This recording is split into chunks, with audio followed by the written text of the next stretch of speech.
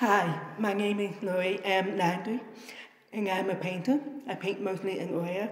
I have a show here in Wells, BC at the Island Mountain Art Gallery um, from July, June 22nd to July 22nd. Um, anyway, um, it, this show is called Deafy, and, um, and it's a play on the word selfies. So it's um, an exploration of um, my experiences as a deaf person and a deaf artist. And I started off with, um,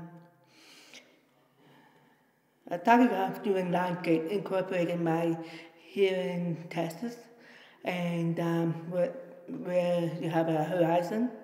And um, the, the is that kind of like there.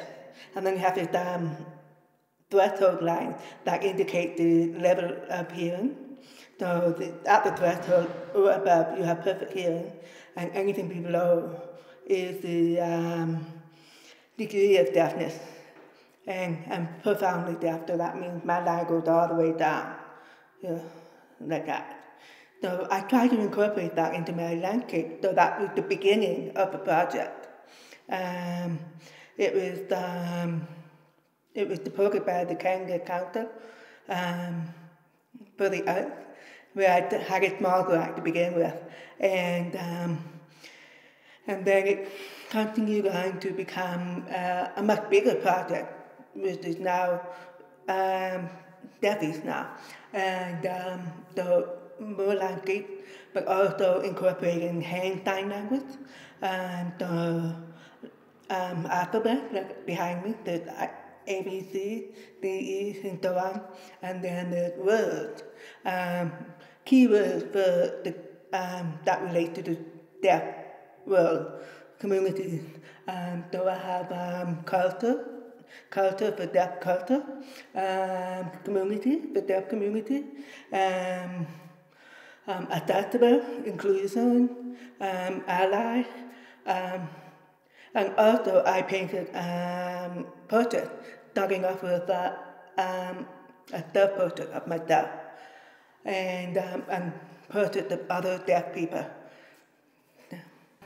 The body of work is important to me because I wanted to find a way to bridge the gap between the hearing world and the deaf world. Um, because sometimes there's um, the hearing people don't quite realize the um, the challenges that we have um, at deaf for hard of hearing people. Um, for example, um, being able to talk in a room full of people and trying to follow the conversation in a, in a group setting, really. Um, you're missing out a lot um, of what's being said. So you kind of fall behind and the conversation. Um, um, so the question that I ask myself when I work on this is, what is it like, you know, to be deaf? Or what is it like to be hearing? And that's the gap I'm trying to build and build the bridge on. I think it's important to be positive about the experiences. I mean, when, when you experience so many things, there's so many emotions involved, you know, positive and negative things. But for um, my artwork, I think it's really important to be positive because um, I think it's, um, it's about connection and communication. And um, so it's important to be positive about that. Because there's so much, um, I know families that don't accommodate um, for the deaf um, family member. The and um, and when the family me- that deaf fam- family member um, meets um, other deaf people, sometimes it's separation there because the, this deaf person has found the people, um, and if the family doesn't take the time to learn how to communicate with the deaf member, there's often quite a divide. And, um, and that, um, to me, that, um, that's something that I want to bring awareness.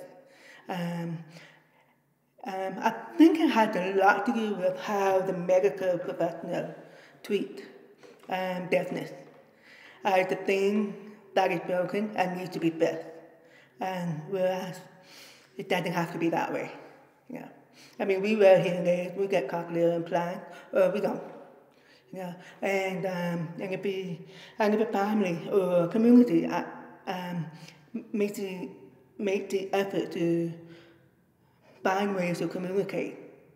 That doesn't always rely on the deaf person making accommodation for everybody. You know, I'm, I learned how to read lips. I learned how to speak because the expectation was that I accommodate the hearing well. Know, and there's no, almost never any effort on the hearing well to learn how to. You know, unless they really wanted to learn how to dine because it's a wonderful language of expression. You know, so that's, what, that's the awareness I'm trying to bring you know, in my artwork. It was important to me to have it going well because I have other people drawing, connecting to the community, my family, um, um, generation, you know, two generations of my family living in Wells, and um, three actually, and because um, I lived in Wells for about three years, and um, you know, I also get majority of everybody work here as well. So, so that was important for me to show the community what I've done. Um, this is, for me, is the beginning of the work. It, um, even though it, I'm still here, it's just the beginning. Um, there are more deaf people to meet. Um, there are more words to speak. Um, there are more ideas to come. And um, I think it's really important to keep that journey, stay on that journey.